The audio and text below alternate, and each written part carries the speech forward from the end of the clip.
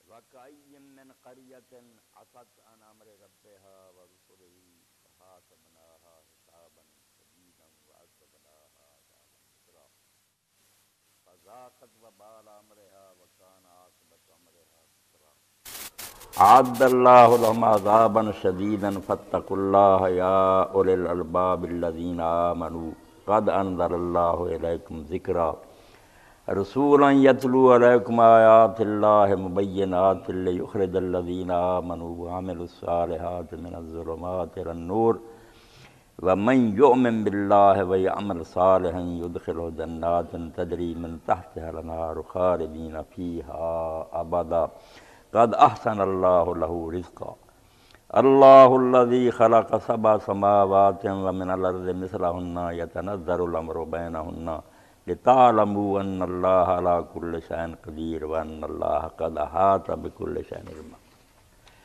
सूरत तलाक़ की आयात मैंने तिलावत की हैं। अल्लाह रबालमीन का इरशाद मुबारक है कि कितनी बस्तियाँ हैं जिन्होंने अपने रब के हुक्म से मुँह मोड़ा सरकशी की। और अल्लाह के रसूलों की नाफरमानी की तो फिर हमने उनकी सख्त गिरफ्त की, बहुत सख्त मुहासबा किया उन आबादियों का, और उन्हें ऐसा आज़ाब दिया जो किसी ने सुना भी नहीं था। बिल्कुल अजीब गरीब किस्म का आज़ाब उन पर नाजिल हुआ तो उन्होंने अपनी हरकतों का वबाल जो था उसको भुगता चखा मज़ा उसका। और उनके ऐसा करने का अंजाम खसारा हुआ। घाटे में गए वो, फ़ायदा नहीं हुआ। अल्लाह ने उनके लिए सख्त अदाब तैयार कर रखा है। तो आए अक्लमंदो, जो ईमान लाए हो, अल्लाह से डरो। अल्लाह ने तुम्हारी तरफ़ ज़िक्र उतार दिया है।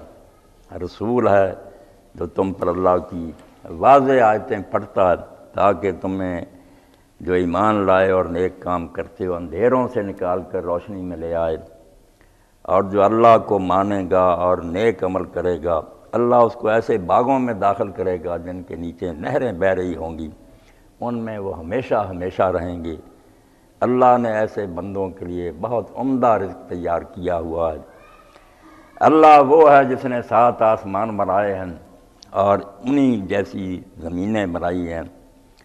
अल्लाह का हुक्म उन आसमानों और ज़मीनों में उतरता है, ताकि तुम जान लो कि अल्लाह ताला जो चाहे कर सकता है, हर शय पर कादर है।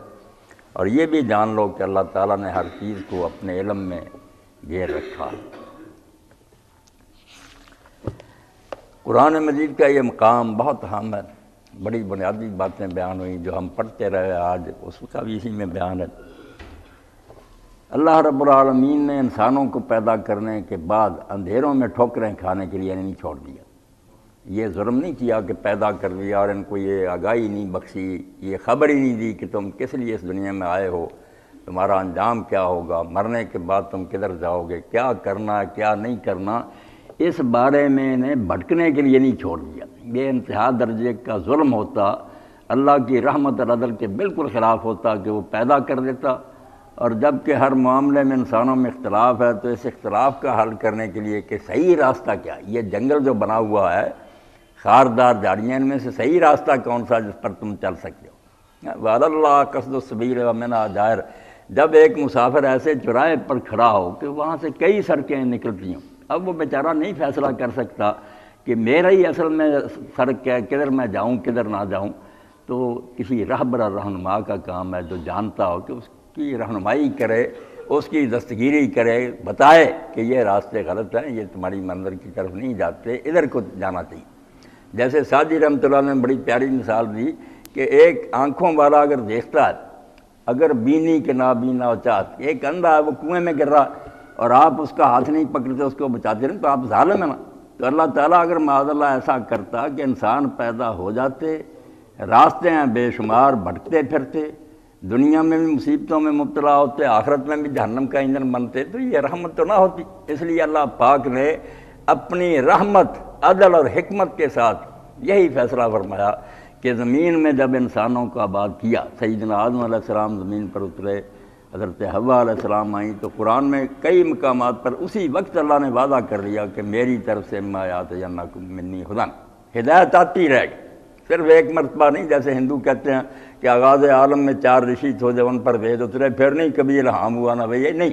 अल्लाह ने कहा, हर ज़माने में, हर दौर में राह बराते रहेंगे, वो तुम्हें रास्ता बताते रहेंगे। अब जो उनकी बात मानेंगे, उनको कोई डर गम नहीं। जो नहीं मानेंगे, वो जहन्नम का ईंधन बनेंगे।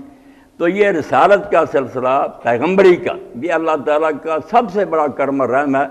वरना अगर जिसमें इंसानी की ज़रूरतें अल्लाह पूरा करता खाने के लिए हमें तरह तरह के फ्रूट और गज़ाएँ देता, पीने के लिए शरबत और दूध देता, लिबास देता सारे मगर हमारी रूह जो बाकी रहने वाली, उसका कोई ना बंदोबस्त करता तो ये सही बात ना होती। इसलिए अल्लाह ताला ने इंसानों को पैदा करके इनकी रहनुमाई का इंतज़ाम फरमाया। रसूल आए और कुरान मजीद कहता है कि वो किसी ख़ास इलाके से मखसूस नहीं है। हम जब कुरान मजीद में कुछ अम्बियालम का तस्करा पढ़ते हैं, जो शाम और अरब में ही आए हैं तो सवाल पैदा हो जाता है कि बाकी दुनिया में नहीं आए। अल्लाह कहता, कोई इलाका ऐसा नहीं जहाँ अल्लाह की तरफ़ से खबरदार करने वाले रसूल नहीं गुजरे। हर इलाके में आए हैं, हर कौम में आए हैं, उन्हीं की ज़ुबान में किताब लेकर आए हैं। मगर जो कुरान मजीद के पहले मुखातब थे, जिनसे कुरान बात कर रहा था, पहली क्लास जो हजूर से पढ़ रही थी, वो पढ़ रही थी, वो अरब से। उनके सामने हवाले उन्हीं के दिए जा सकते थे, जिनको वो जानते, पहचानते थे। कि तुम देखते हो कि कुरान अभी आया लोगों ने नहीं माना तो नतीजा क्या निकला? भुगता उन्होंने फिर अपने किए को, इसलिए तुम डरो। रसूल आ चुका, उस पर ईमान लाओ। तो मिसाल वही होती है जिससे मुखातब, मुतारफ जानते हो, मैं एक ऐसे शख्स का हवाला दूँ या क्या बयान करूँ, लोग कहेंगे, इस नाम का कोई आदमी हुआ भी नहीं, वो तो एक अलग बहस चल पड़ेगी तो कुरान ने इस ज़रूरत से कि लोग जो पहले कुरान के सुनने वाले थे, वो जिनको जानते थे, उनके वाक़ात का हवाला दिया। मगर बात बता दी कि दुनिया की हर कौम में पैगंबर आए हैं, हर इलाके में आए हैं, हर ज़ुबान में उन पर अल्लाह ने किताब उतारी। तो अल्लाह फरमाता है कि रसूलों के आ जाने के बाद जिन लोगों ने फिर उनकी बात नहीं मानी, फिर भी गड़े में गिरने को पसंद किया कि अंधे जो थे, उन्होंने उसकी बात ना मानी स्वांखे की, मुखालफत की। वकई मन करियतन अतन अमर रब हा वरुसरे दुनिया में कितने इलाके ऐसे हैं, कितनी बस्तियाँ ऐसी हैं, जिन्होंने अपने रब के हुक्म से सरकशी की, नहीं माना हुक्म अल्लाह का और रसूलों की मुखालफत की। तो कुछ मदद तक तो अल्लाह ताला ने उन्हें मोहरत दी। अल्लाह की मोहरतें भी लंबी हम परेशान हो जाते हैं ना कि वो जना करते हैं, लौंडेबाजी करते हैं, मर्द मर्द से शादी कर रहा इतनी खराबियाँ मगर उनको अल्लाह ने दुनिया का सब कुछ दे रखा। तो अल्लाह ताला ने सूरा अल हज में जवाब दिया कि जिन, जिसको तुम हज़ार साल गिनते हो ना, वो मेरा एक दिन होता है। मेरे दिन छोटे नहीं हैं। तुम जल्दबाजी करते हो फैसला क्यों नहीं हो गया इस कौम का? कौमों को मोहलत मिलती है, कई के हज़ार साल। वो अपनी अच्छाइयाँ भी दिखाते हैं, जो उनमें खराबियाँ वो भी होती। जब खराबियाँ ज़्यादा हो जाती हैं, नफ़ा थोड़ा रह जाता, मैं उस कूड़े क्रिकेट को इकट्ठा करके समुद्र में डोब देता। हूँ वो बाद में होती है, मगर पहले मुहरत मिलती है। तो फरमाया, लोगों ने रसूलों की मुखालफत की, अल्लाह ताला के हुक्मों की नाफरमानी की, मगर बाद में फिर वक्त आया फहासबना हिसाबन सजीदा हमने सख्त मुहासबा किया फिर छोटी मोटी हर गलती उनकी पकड़ी गई और अल्लाह ताला ने ऐसा मुआखला किया, ऐसी गिरफ्त की कि ना भागने को मौका मिला, ना कोई उन्हें बचा सका, ना कहीं पनाह मिली। वह अजबना अजाब नुकरा और वो बस्तियाँ जो उन पर अल्लाह ताला ने ऐसा अजाब किया जो पहले किसी ने देखा ही नहीं था, सुना ही नहीं था। बिल्कुल नया किस्म के अजाब उन पर आए। बहुत ऐसे जिनका नाम तस्करा सुनकर जिसमें इंसानी पर लर्जा तारी हो जाए, ऐसे खौफनाक अजाब अल्लाह ने नाजिल की और ये अरब जो थे, इनके तो इर्द गिर्द भी ऐसी बस्तियाँ बस्तियाँ तो हमारे गिर्द भी हैं हमारे पास आँखें नहीं ना। ये भी अल्लाह ताला ने सूरह हज में कहा कि लोगों के पास आँखें नहीं हैं कि वो देखें। दिल नहीं है कि सोचें। और वहाँ भी ये बताया कि इन आँखों की बात ना करना। ये आँखें तो इन लोगों की बड़ी खुली होती, आसमान पर जा रहे हैं, कान मुस्तबसरीन फरमाया कौम समूदार बड़े दना थे, मगर रूहानी आँख अंधी ये नहीं नज़र आता था कि हमारे इर्द गिर्द इतने खंडरात हैं, इतने वीरान किले हैं, ये कुएँ पड़े हैं जहाँ पानी कोई नहीं निकालता। ये लोग किधर गए? अल्लाह पाक फरमाता, ज़मीन में चल फिर कर देखते नहीं कि वो तुमसे कई गुना ज़्यादा ताकत के मारक थे।